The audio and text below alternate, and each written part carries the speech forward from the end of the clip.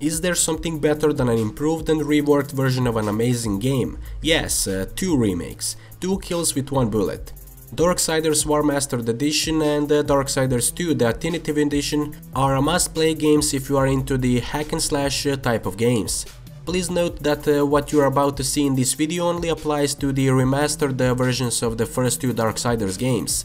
This won't apply or work on the standard editions of the game uh, that were recently removed from Steam.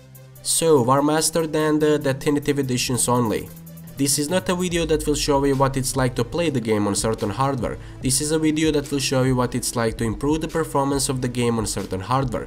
Before we go any further, uh, you will need to head over to my website and uh, download this uh, little software which is called uh, the Low Specs Experience. Download link is available in the description of this video. Low Specs Experience is a little software that I developed uh, that will allow you to optimize your favorite games for maximum performance. After you download it, uh, simply install it and you will get uh, the shortcuts on your desktop. Start it and then uh, go to the optimization catalog section. From this drop down menu select uh, Darksiders uh, Warmastered Edition or Darksiders 2 Definitive Edition and then uh, press uh, load the optimization package. Now select the destination folder where your game has been installed.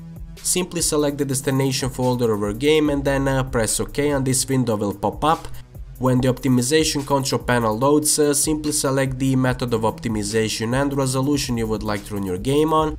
After you did that, uh, simply press the execute optimization button and then uh, start your game. Feel free to experiment with the resolutions and optimization methods uh, to find uh, what suits your system the best. If you are not happy with the optimization results, uh, you can always restore your game to default settings. Simply select the restore default option and your game will be reverted to default settings. That's it for me for this video, don't forget to like the video if you liked it, dislike it if you disliked it, and I'll see you guys next time with a whole new video. Till next time, take care and fly safely.